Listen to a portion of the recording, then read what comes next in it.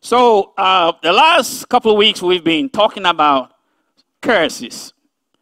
And I decided to present this series uh, just because we are approaching Easter, where the whole world will be celebrating the death, crucifixion, burial, and resurrection of Jesus Christ. So, uh, we talked about being redeemed from the curse of the Lord. We talked about redeemed from sicknesses and diseases. And today I want to talk about redeemed from the curse of poverty. Poverty. Poverty is a curse. And we want to see if what Jesus did for us can guarantee prosperity for us. It is very important to discuss this subject. But there's so much content that I have just selected a few things to present this morning. And I pray that through the power of the Holy Spirit, we will get some understanding that will place us in good understanding with the Lord. Hallelujah. Bible says Christ has redeemed us from the curse of the law, being made a curse for us. Poverty is a lack of abundance. It is a lack where you don't have what you need to do what you want to do. And it's kind of repeating itself again and again. Now, it is important to understand that Poverty is a spirit. So it does not matter whether you are earning 100,000, 500,000, or a million dollars a year, you can still be poor. You can be earning 10,000, 20,000, and 50,000 a year, and you'll be very rich. Because poverty is a spiritual entity. So if you understand this, it will help you really connect with God and not be afraid of anything that is in this world. Our success and prosperity does not depend on our qualifications. It does not depend on our race. It does not depend on the type of job that you do. If you can understand these things and operate with God, it will take you out of poverty. Hallelujah. Listen to me carefully. So, poverty is a state of being extremely poor. It's a state of being inferior in quality or insufficient in amount. And it's a spiritual problem, it is a curse. A curse is a solemn pronouncement on somebody which has a supernatural effect on you. Supernatural in the sense that it is beyond your confines. You cannot handle it. It is pronounced. And until you can connect with that mystery, it does not matter how great you think you are doing stuff. That curse would dismantle every success that you have. Remember, Jesus said there was a man who uh, was so successful in life that he gathered all his wealth and abundance of goods and he put it in a barn and then he went to sleep and said, Hey, you know what? I've got so much. And Jesus said, Thou fool, today your life is required of you. So, success is a mystery, uh, uh, uh, poverty is a mystery. If that curse is hanging over, over your life, it has its timing and choosing. So, you might be doing very well today, but tomorrow everything might go down south. These are the phenomena that we want to examine through the scriptures. Deuteronomy chapter 28, verse 16. Curse shall thou be in the city, and curse shall thou be in the field. Curse shall be thy basket and thy store. Cursed shall be the fruit of thy body, and the fruit of thy land the increase of thy kind and the flocks of thy sheep.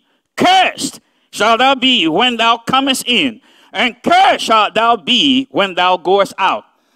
Remember, we have seen so far that the curse came upon the human race because of disobedience. So this is what happens. Okay? It was a whole lot of things, and poverty is part of it if you disobey the commandments of God. And this is just something just to capture our imagination and thoughts and bring us in to the to the table to have dialogue with God. Deuteronomy chapter 28, verse 38 to 41. Thou shalt carry much seed out into the field, and shalt gather but little in, for the locust shall consume it.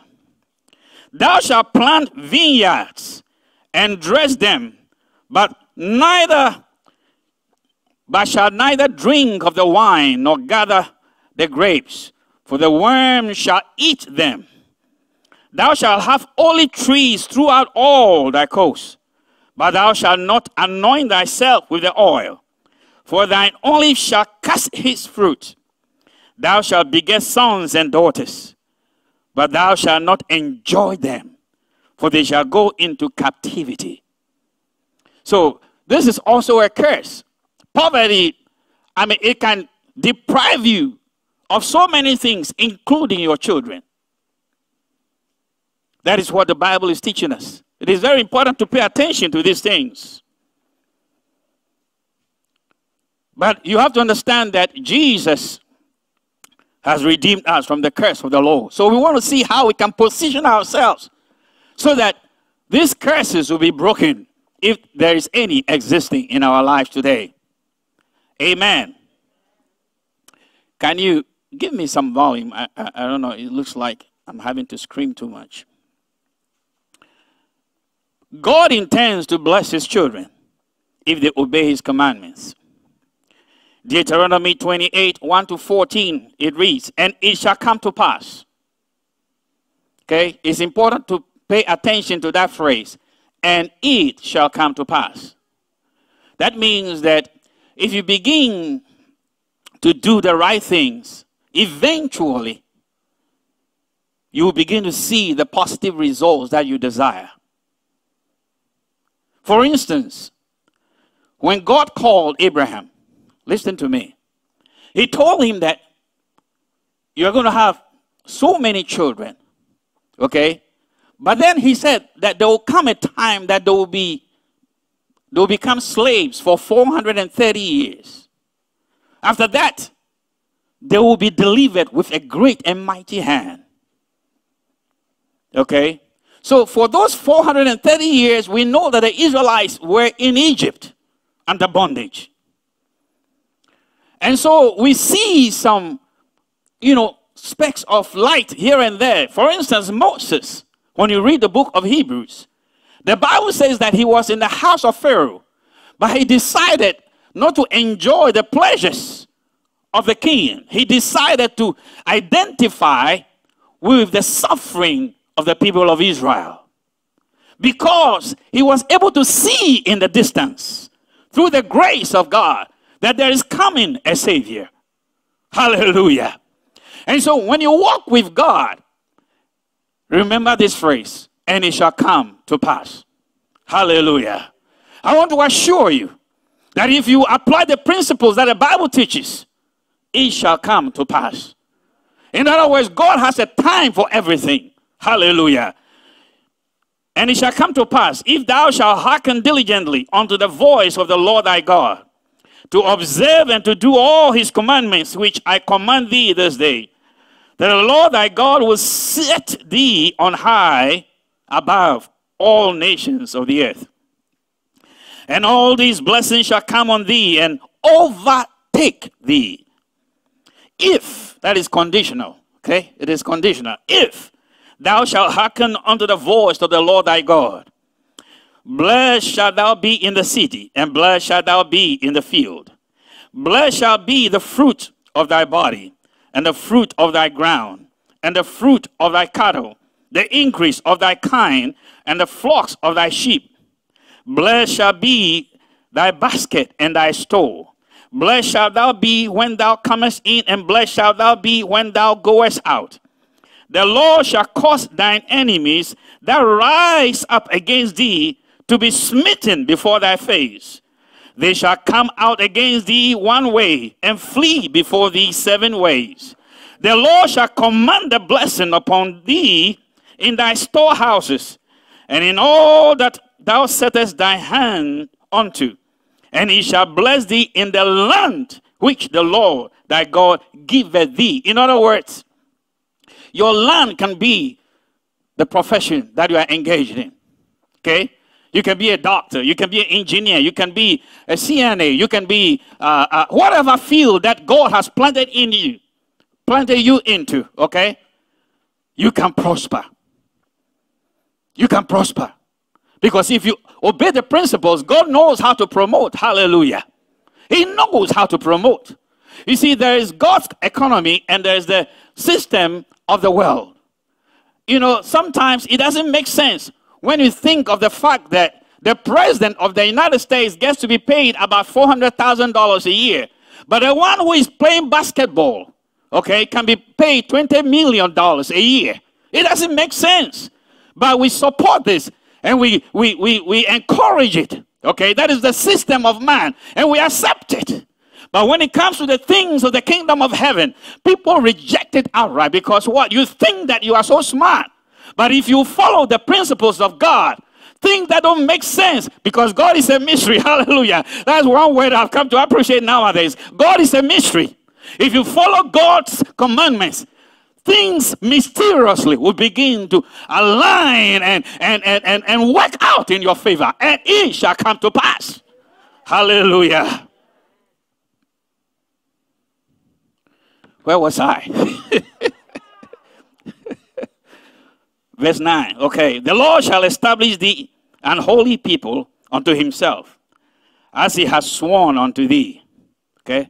Take note of the word establish. Okay.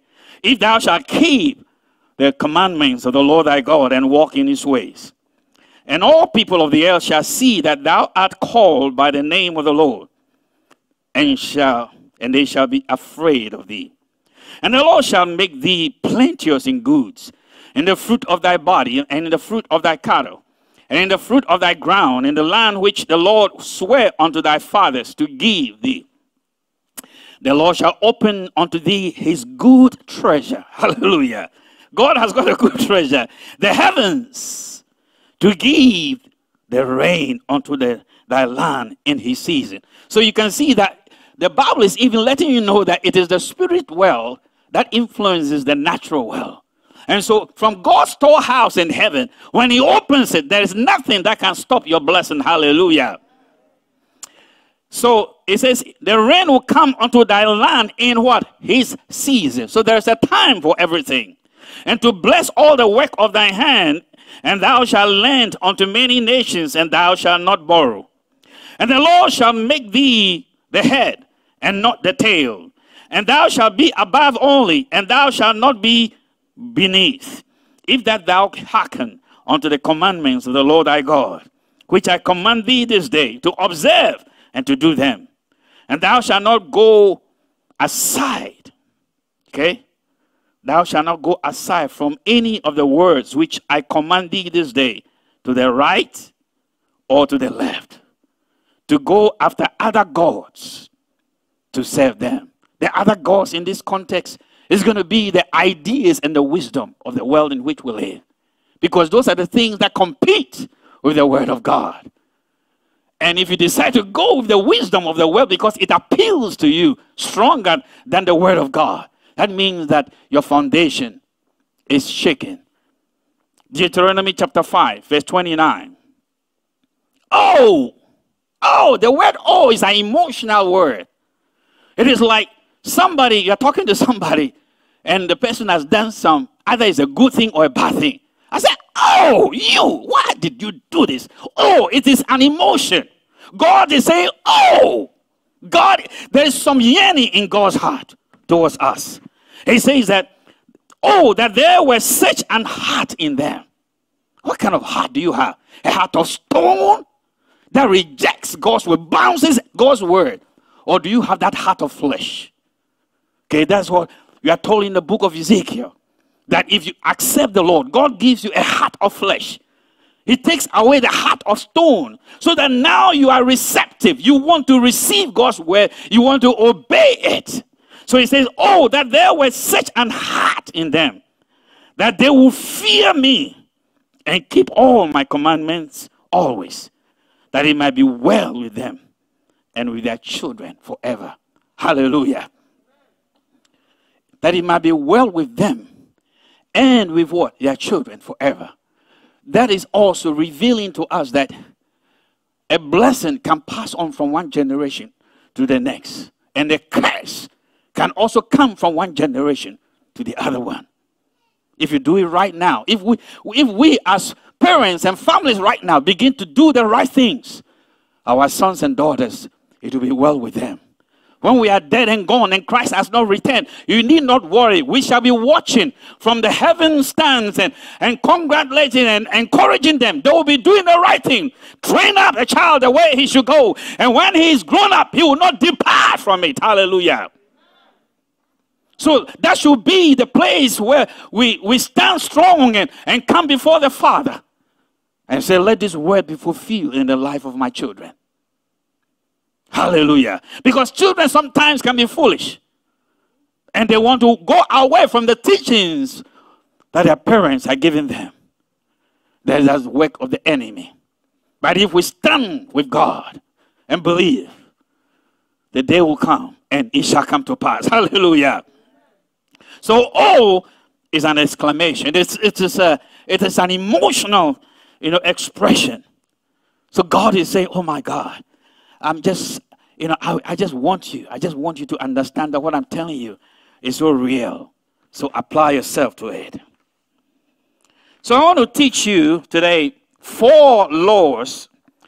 There are so many things in the Bible that can talk about prosperity and how to avoid poverty, but I've chosen four things. That's four things. There are so many, but four things.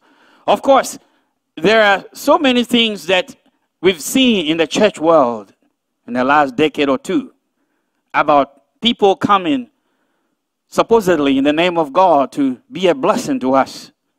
Okay, so they'll tell you, come and put down $200, $1,000, etc., etc. That if you do this, God will bless you. The principle is right, but I think the motive is wrong. And I want us to go about these things the right way. Hallelujah.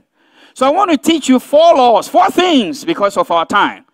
Please take them seriously. Number one, you must walk in love. People don't have any idea that love can get you out of poverty. Okay? But love is so important. Romans chapter 13, verse 8 to 10. Bible says, "Oh no man what? Anything. But to love one another. For he that loveth another has what? Fulfilled the law. So you see that the Ten Commandments and all those commandments that was given the Old Testament, nobody could obey it. Everybody failed. But under the New Testament and under the grace of God, if you apply this law, you have fulfilled all the law that was in the Old Testament. If you walk in love. Hallelujah. So those of you who hate each other, insult each other, and cannot forgive, you are blocking your blessing. And you are blocking the blessing for your children. Remember, the fact that you have something in your pocket now doesn't mean that it is going to be always fine for you or your children. And so you are sticking to all your, your, your ways that you think are perfect. Because remember, it is a supernatural curse that can come upon you. You don't choose the time and season. So you can be going well for 10 years, the 11th year. And then things will begin to just be so bad, and you wonder, what in the world went wrong with me? So, anybody who loves has fulfilled the law. Verse 9 For this, thou shalt not commit adultery, thou shalt not kill, thou shalt not steal, thou shalt not bear false witness, thou shalt not covet, and if there be any other commandment, it is briefly comprehended in this saying, namely, thou shalt love thy neighbor as thyself. Love worketh no ill to his neighbor. Therefore, love is the fulfilling of the law. Hallelujah. When you walk in love, you have fulfilled everything. God checks all the boxes of the Old Testament. Thou shalt love the Lord thy God with all your heart, and you love your neighbor as yourself. That's why I keep saying this all the time. If we don't walk in love, our prayers are hindered. If we don't walk in love, it destroys so many things. The curse will begin to have access into our affairs. And so God is saying here, you know, adultery, false witness, all those things can happen. But if the person is repentant, forgive and walk in love. Let it be. Walking in love means that it is as if the person never did anything like that. That is how God expects us to love. But if you cannot do that, you are not fulfilling the law. Hallelujah. Galatians chapter 5, verse 14. For all the law is fulfilled in one word. Even in this, thou shalt love thy neighbor, what? As thyself. Okay? But if ye bite and devour one another, take heed that ye be not consumed one of another. So if you're constantly creating chaos in your home and, and, and in relationships, be careful because you are going to destroy that person and you will destroy yourself. Hallelujah. This I say then walk in the spirit, and you shall not fulfill the lust of the flesh. So the lust of the flesh is all of this, you know, agitation, antagonisms, and hatred and bitterness, and all those kind of is the work of the flesh. But if you walk in the spirit, guess what? You walk in love. Hallelujah. Proverbs chapter 17, verse 9. He that covereth a transgression seeketh what? Love. Okay? If somebody does something against you and you can forgive, you cover it. It's as if it never happened. He says, But he that repeated a matter separated very friends. Okay? So it is important to walk in love. I cannot overemphasize this. If you want to get out of poverty, this must be your number one rule. Somebody may be thinking, oh, this is, this is nothing. But be very careful. When the curse is lingering over your life, you don't know when it's going to start to take effect. So don't think that because things are cozy with you now, everything is going to be like that all the time. And remember, the curse can come not only on you, but on your children. So that is point number one, one law that you need to follow. Walk in love. Number two, honor the Lord with thy substance. Honor the Lord with thy substance. Proverbs chapter 3, verse 9 and 10. Honor the Lord with thy substance and with the first fruits of all thy increase. This is something which people struggle with. They don't know how to honor the Lord with their substance. Okay? They don't want to give. Sometimes, because of what pastors have done or whatever reasons, people are reluctant to give. But when you are giving, don't think that you're giving it to the pastor. Okay? Honor the Lord. It says, verse 10 So shall thy barns be filled with plenty, and thy presses shall burst out with new wine. That is very clear. If you do it right, if you honor the Lord, okay? To honor the Lord, let's look at Revelation chapter 4, verse 11. What it means to honor the Lord. To honor the Lord means that you have come to a place where you can behave like this scripture is saying. Thou art worthy, O Lord, to receive. Okay, I want you to underline the word receive. He is worthy to what? Receive. Okay, where did you receive glory and honor and power. For thou hast created all things, and for thy pleasure they are and were created. So if you have something in your hand Don't think that it is just yours. It is God who gave it to you. So if you're honoring the Lord, you are declaring that He's worthy to receive it. Revelation chapter 5, verse 12. Saying with a loud voice, Worthy is the lamb that was slain. Again, what? To receive. Okay?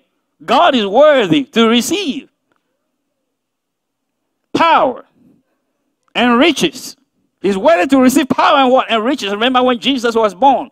The wise men who came, what did they do? They brought riches. He's worthy to what? Receive what? Riches. And the line that word receive. Honor the Lord with your substance, children of God. Riches and wisdom and strength and honor and glory and blessing. I'm not going to say more than this. Think about it. Point number three. I'm talking about some laws that I believe that when you follow them, you are not going to walk in poverty. You come out of it, and it's going to be well with you the rest of your life, your children, and your children's children. Number three, remember the source of your prosperity. Deuteronomy chapter 8, verse 18. But thou shalt remember the Lord thy God. For it is he that giveth thee what? Power to get wealth, that he may establish his covenant which he swore unto thy fathers, as it is this day. Remember. The word remember means to recall, bring to mind. So anytime substance comes into your hands, remember. Anytime you are paid, remember the Lord. Every time good things come to you, remember the Lord. Some people, when they get paid, they don't remember the Lord. The Lord becomes the last thing on their minds because you are so much concerned about your debtors and all those other things. You have forgotten that is the Lord who gives you power to get wealth. If you continue that kind of thought, that thinking, and repeat it over and over, and you will never come out of poverty. You will never. You will never come out of poverty. Okay? All right. Hebrews chapter 7, verse 7 and 8. And without what? Contradiction. Okay? To contradict, that means you can't say something that is other than just the truth. And without all contradiction, the less is blessed of what? The better. Between you and Christ, you and God, who is greater? Who? Okay, so Christ is the one who can bless your life. He's the one who can set things straight. So we know there's no contradiction, there is no fight about that, there's no argument about that. That is why people, I mean, when they're, uh, excuse me to use the word, tricked, because it is not presented in the right way. So we come to think that you can just buy God by sowing a seed. All other areas of life, your life, you don't talk about it. Okay? You still hate people. You don't love and all those things, and you go and sow a thousand dollars and you want God to bless you. No, no, no, it does not happen like that. The fact that you have sown doesn't mean that it, God is obligated.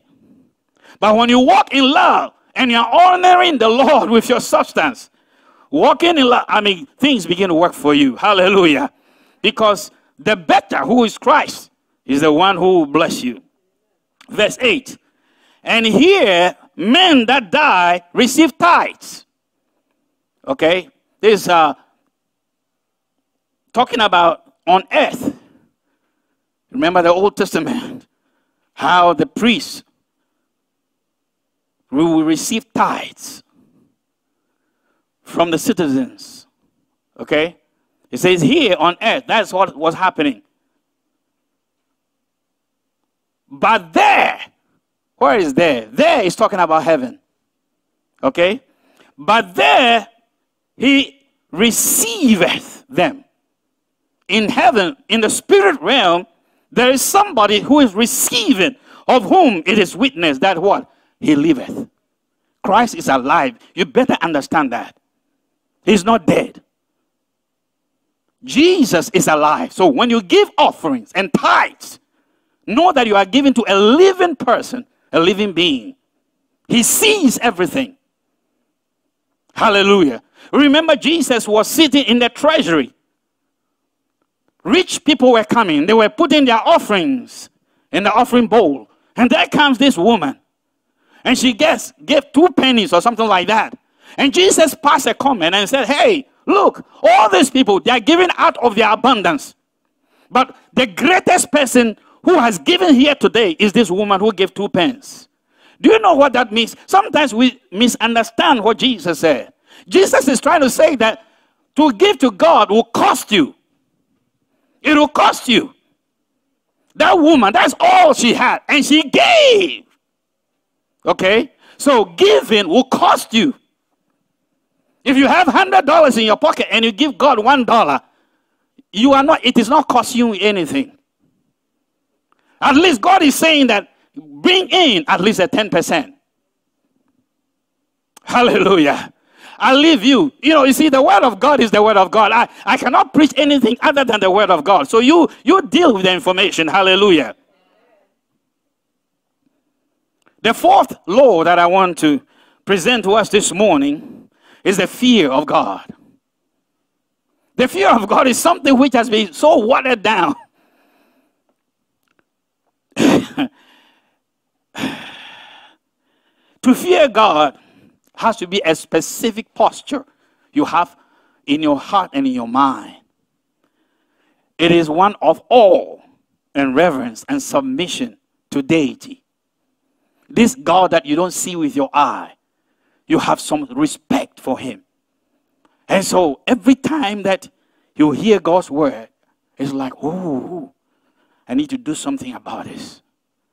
And you're asking God for strength to help you to fulfill it the fear of God. Okay? You don't come to church because you want to appear to be a Christian. Come to church because you fear God. Don't give your offering because you want to appear to be doing the right thing. Give it because you fear God. Hallelujah. Give because you fear God. It all comes back to what happened in the beginning. Obey, right? Obedience. Psalm 112, verse 1. It says, Praise ye the Lord. Blessed is the man that feareth the Lord, that delighteth what? Greatly in his commandments. The question is, do you delight greatly in the commandments of God? Then you are blessed. Okay? To delight greatly doesn't mean you are just smiling when you hear the word of God preach or when you read it. But it is actually the delight. Remember Psalm 1. Bless the man who walks not in the counsel, that advice of the ungodly. But his delight is in the fear of the Lord. In the Lord, he meditates day and night. He says, observe that kind of person. He's like a tree planted by the rivers of, Lord, of water that bear fruit in their season. Once again, it shall come to pass. If you do the right thing, it shall come to pass. Let us not be instant consumers, thinking that you just do this and God is obligated to do that. Continue to serve the Lord faithfully. And he who knows our heart will bless us in due time. Hallelujah. So praise ye the Lord. Blessed is the man that fears the Lord, that delights greatly in his commandments. Number two, his seed, that is his children, his or his children, whatever it is, shall be mighty upon the earth. The generation of the upright shall be blessed. And so, if we, the first generation that have come to America, settled here, and God is working through us, we can be assured, if we do it right, that our children are definitely going to be better than us. Hallelujah. And that is what we want to see. It will be better for them than our condition, but we must set the foundation right for them. If we don't do it right, the curse will go down to them. And so, his seed shall be mighty upon the earth. The generation that upright shall be blessed. Wealth and riches shall be in his house, and his righteousness endureth forever. Is this the word of God I'm reading? Are these my words? This is God speaking to us. So, how can we just shut off our heart and our minds to these glorious and beautiful promises? Wealth and riches shall be in his house. So, these are the things that we can just open the Bible and begin to talk to God and say, God, hey, you know, I fear you in my heart and I desire you. I, I love your way. I, I, I've been doing my best to serve you this and that. And this is your promise. You said, My children will be mighty. I thank you, oh God, that my children are mighty on this earth. It doesn't matter what you see with your eyes happening on the ground right now. But just go ahead and make those confessions over your children. And say, Father, I thank you that my children that are mighty on this earth. My next generation, they are blessed, oh God. I thank you for wealth and riches, oh God. You said it will be abundant in my house. I rejoice in this and I give you thanks. Watch what God will do. God is a mystery. Hallelujah. It's a mystery. It's a mystery. It's a mystery. Unto the upright, there what ariseth light in the darkness. Hmm? The light will rise over you to shine. You, you will find that you begin to shine. Something will begin to happen. That is the mystery of God. So unto the right right, there arises light in the darkness. He is gracious. Okay? Another uh, interpretation of that is that he is what? Generous. The righteous person is what? Generous. He likes to give. Okay? And full of what? Compassion and righteous. Ah, all these things will make you prosper in the Lord.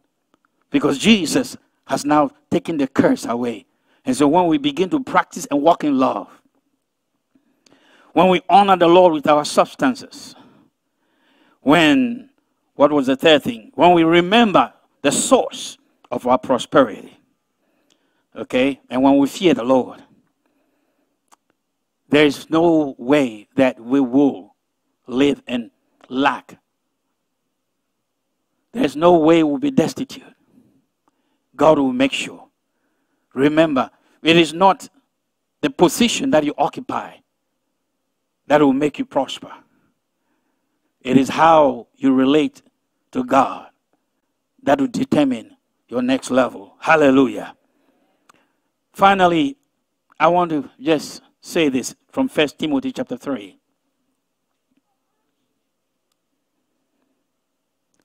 Verse 9.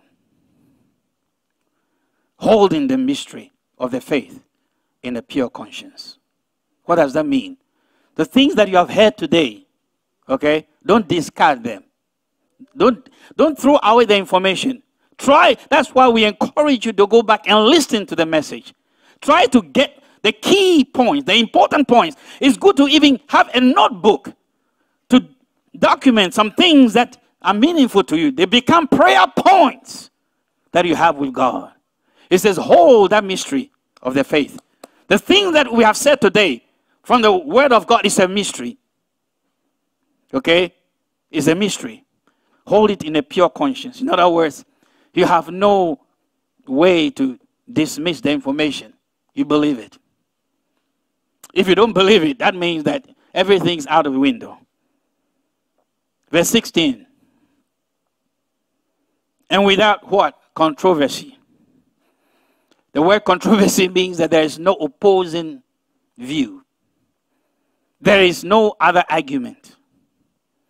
And without controversy, great is the what? Mystery of godliness. Okay? It's a mystery. God is a mystery. God was manifest in the flesh. Remember, God is spirit. But spirit immediately became flesh that you can see with our eyes. How did that happen? The Bible says that it happened because a virgin was conceived. And how did that happen? It is a mystery. Bible the spirit of the Lord came upon the woman and she conceived. And so when you believe the word of God and you walk with it, How are things going to come to pass in your life? That Holy Spirit, that same Holy Spirit will come upon your life, on your household, and begin to make things form so that you can birth the outcomes that you desire. It's a mystery. Hallelujah. And without controversy, great is the mystery of godliness. God was manifest in the flesh, He was justified in the spirit. Justified in the spirit means without the Holy Spirit, things cannot happen. That's what I'm telling you. If you begin to practice it, the Spirit will take action. Because now God is going to look at you and say, Oh my, this is my daughter, this is my son. I can see his heart, her heart. Oh, yeah, now I can see they're applying the principles. Okay, Holy Ghost, uh, let the things happen. And the Holy Ghost is going to move in your situation. And then you're going to find that things that was in the spirit now begin to manifest in the flesh. And now you see with your eyes happening. Hallelujah. He was preached unto the Gentiles, believed on in the world, received up into glory. Hallelujah. I pray that God will bless you. Let us pray. Father, we want to exalt your name and give you glory. We thank you for your goodness, O oh Lord, the blessings that you've showered upon us. That we can say that everything that we are, that we have, you have given us, O oh Lord. So we'll bless you. And even as we leave your presence, Lord, we know that your presence is still with us. So we are calling on you to direct our paths, O oh Lord the right places as we move on. And let the beauty of you also, Lord, be upon us and establish the works of our hands in all things. Lord, again, establish the works of our hands. We pray the Lord, you be a sun and a shield for us, O Lord, that you be our protector, the protector of our health, and everything that you've made a steward of, O Lord. We call on you, O Lord, to protect them. We ask for the grace, O Lord, and the glory. And we ask that no good thing should be withheld from us, O Lord. Help us to walk mightily in you and give you glory. In Jesus' name, amen. Let's share the grace. Let the grace of our Lord Jesus Christ, the love of God, and the sweet fellowship of the Holy Spirit be with us now and forevermore. Amen. Surely mercy and goodness shall follow us all the days of our lives, and we shall dwell in the house of the Lord forever and ever. We shall live and not die, but declare the goodness of God in the land of the living. Amen and amen. You reign, you are ancient Zion's king.